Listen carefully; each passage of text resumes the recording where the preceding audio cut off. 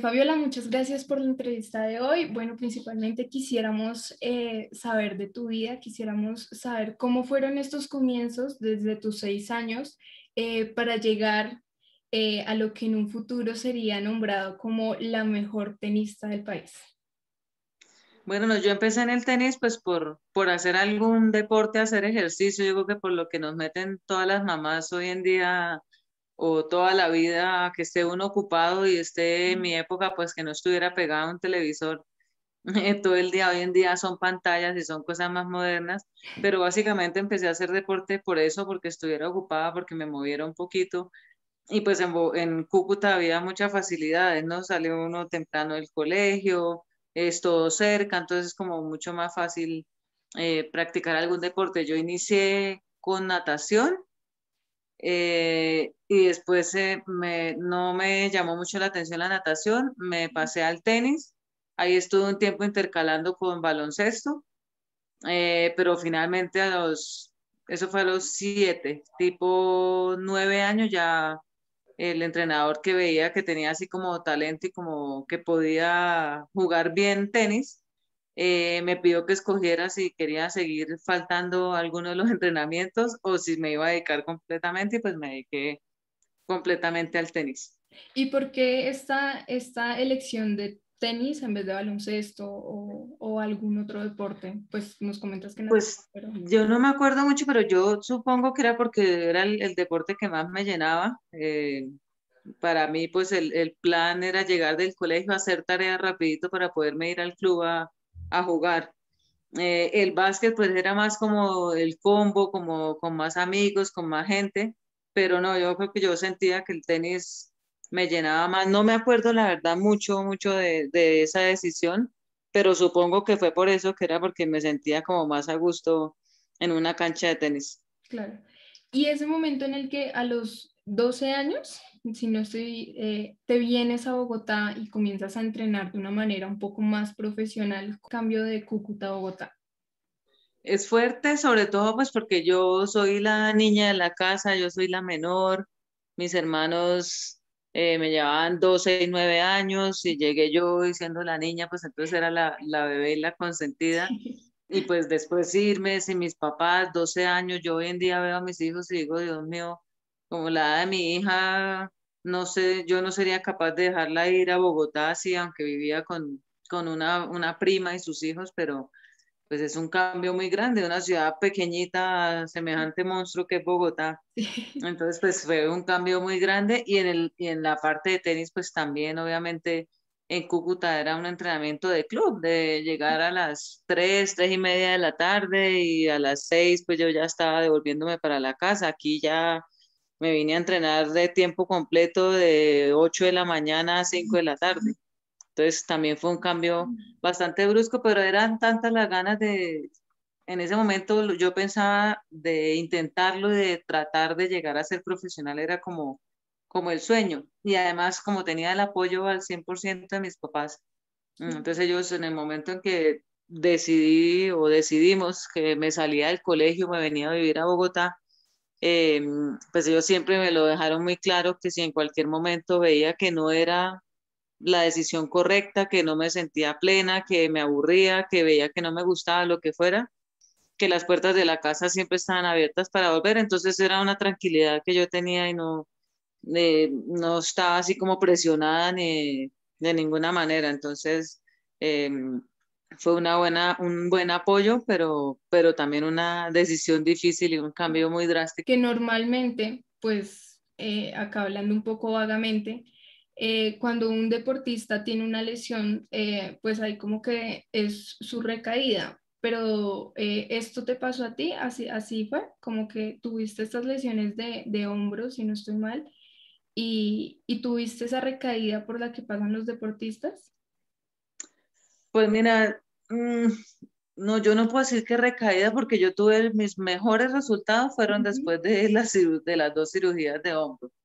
Recaída de pronto sí en, en, en muchas cosas que a uno le, le no quedan igual, Por ejemplo, yo después de mis dos cirugías eh, no quedé con la misma flexibilidad, no quedé con la misma fuerza, pero irónicamente, como te digo, tuve mis mejores resultados. Entonces, pues, unas por otras eh, se compensan. Sí, hay muchos que, que, que una lesión los marca y que ya de ahí no se vuelven a levantar o que ya no son los mismos, que ya, eh, porque además da mucho miedo. Yo me imagino un futbolista que se le parta la rodilla como esos totazos que se dan y pensar otra vez que, que van a venir a pegarle otra vez en la rodilla que ya está operada y qué susto. Si uno nada más se dobla un tobillo y, y, cuando tiene que volver a entrenar está uno muerto del susto porque qué tal que me vuelva a doblar el tobillo, no me imagino mm. con algo más grave.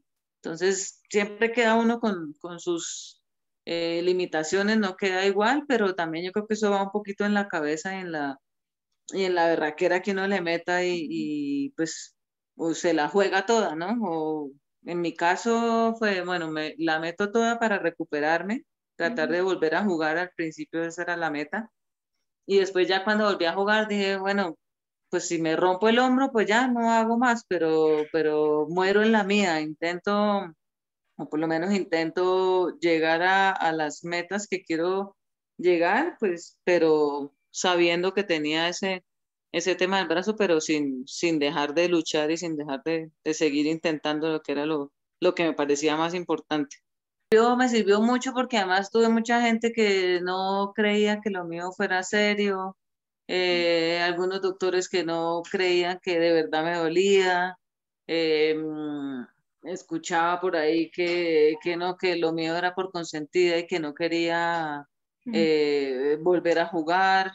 Decía, bueno, si no quiero volver a jugar, pues simplemente digo no quiero volver a jugar y ya, me, me, me dedico a, a, estar en mi casa o a hacer otras cosas y si no quisiera volver a jugar o si no me quisiera recuperar, pues no, eh, no, estuve, no me hubiera pasado seis, ocho meses de mi vida en un consultorio de fisioterapia llorando porque las terapias eran durísimas y se lloraba casi que dos veces al día.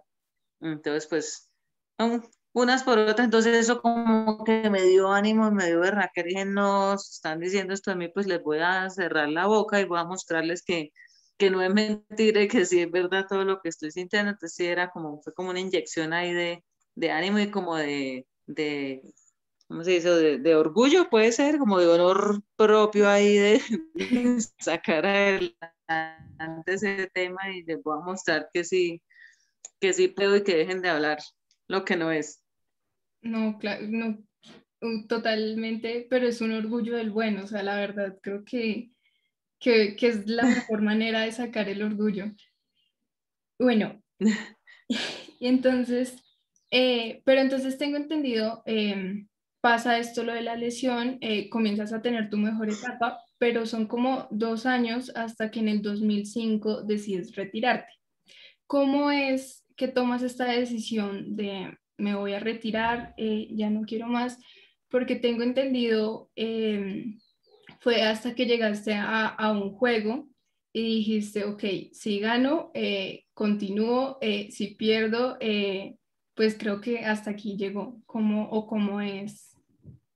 Pues mira, yo siempre pensé en, en, lo tenía pues como muy, muy fijo en mi mente, que quería jugar no hasta muy grande. Ah, Ese era lo primero. Segundo, mi instinto maternal desde chiquita lo tuve súper a flor de piel y yo siempre soñé con tener hijos y quería tener mis hijos joven para poder disfrutarlos y poder em, eh, estar con ellos y, pues, o sea, pensaba, si ya yo empecé a jugar a los, a los 7, a los 14 ya estaba jugando profesional, mi vida ha sido al revés de la de todo el mundo. A los 14 pues están apenas en el colegio y yo ya estaba trabajando. Decía, no, yo termino joven ya trabajo lo que tengo que trabajar y ya me dedico a mis hijos y a disfrutar y a, disfrutar todo lo que por el tenis dejé de hacer. Okay. Entonces, eh, ese fue otro tema, pues que quería tener hijos jóvenes. Y después se me montó el tema de la falta de confianza, lo que te cuento, todo lo del hombro, eh, la falta de fuerza, la pérdida de movilidad, de flexibilidad, pues eso iba haciendo como que yo hiciera movimientos inconscientemente que me cambiaron mínimamente mis movimientos para pegar, pero yo ya no sentía la misma confianza y, no sentía que no jugaba de la misma manera. Entonces, pues ya no me sentía tan a gusto dentro de la cara, ya no lo estaba disfrutando y cuando ya dejé de disfrutarlo fue que me empecé a preocupar porque pues yo dije, no, esto no es lo que, lo que yo hice toda mi vida y bueno, está bien que uno un partido no tenga un partido bueno, pero es que ya eran todos los partidos, era sufriendo y todos los partidos la pasaba mal y Dios mío, por favor, que se acabe rápido este partido. Entonces pues ya dejó de ser tan chévere y, se ya, se, como que se fueron juntando muchas cosas y ahí fue cuando, cuando tomé la decisión. Y en el partido fue un partido que perdí en Roma, eh, con una niña pues que yo toda la vida le había ganado, yo creía pues que no, pues puedo sonar un poco creída, pero creía que ni en mis peores momentos pues debía perder con ella. Okay. Entonces ahí fue cuando dije, no, no, yo ya mejor eh, eh, me hago un lado, terminé de jugar ese año eh, pero decidí hacerme un lado y ya, ya, ya no quería sufrir más en la cancha, que era lo que estaba pasando en, todos los partidos. Ok, bueno, y quisiera eh, tal vez para ir finalizando, tal vez una anécdota, algo que te haya marcado, que, que digas, o tal vez como mi momento favorito, que realmente nunca cambiaría por nada frente a pues este, a este mundo del tenis. No, definitivamente esa sensación de ganar un torneo, esa, esa no la cambiaría por nada y sobre todo ganando aquí en Bogotá. Yo tuve la, la dicha y la fortuna de ganar cinco veces acá en Colombia, pues en Bogotá. Era unas dos semanas muy difíciles porque, pues porque yo quería ganar y me estresaba mucho y me comía las uñas y se me caía el pelo y era, era semanas estresantes antes de, pero la satisfacción de estar jugando con el estadio lleno, con toda la gente a favor tuyo, eh, que uno estaba todo el mundo pendiente, mm, salía uno y veía uno esa felicidad de la gente, entonces uno, uy, Dios mío, o sea, por algo que yo hice, la gente está así de feliz, qué chévere como poder compartir eso con, con ellos y levantar ese trofeo acá era, es algo que no, no, no lo comparo con nada y, y, y me, pues todavía me erizo cada vez que lo pienso y cuando paso por acá y veo ese trofeo, me acuerdo de esos momentos y, no lo cambiaría por nada. Eh, no, pues yo era consciente de lo que, lo que movía pues con, con mis actuaciones, digamos, en el tenis. Tenía el tema, pues que yo toda la vida, bueno, sigo siendo, de paz que ya lo manejo un poquito más, pero yo eh, soy muy tímida. Entonces a veces yo pasaba por antipática y pues sí, muchas veces venían a saludarme, yo me ponía roja, yo quería que me tragara la tierra, pero no por antipática ni por no querer saludar, sino porque me moría de la pena. O que me, que me dijeran, ay, eh, no sé, pues en esa época no era tantas fotos, era más autógrafos. Eh, pero que firme el autógrafo, eso a mí me, yo me moría de la pena. Entonces, de pronto pasaba un poquito como, como por antipática porque yo pues soy seria eh, y, quería, me gustaría como, no por, ¿cómo le explico? No, que no me pasara por, por, por el reconocimiento, sino simplemente porque me daba pena. Ok.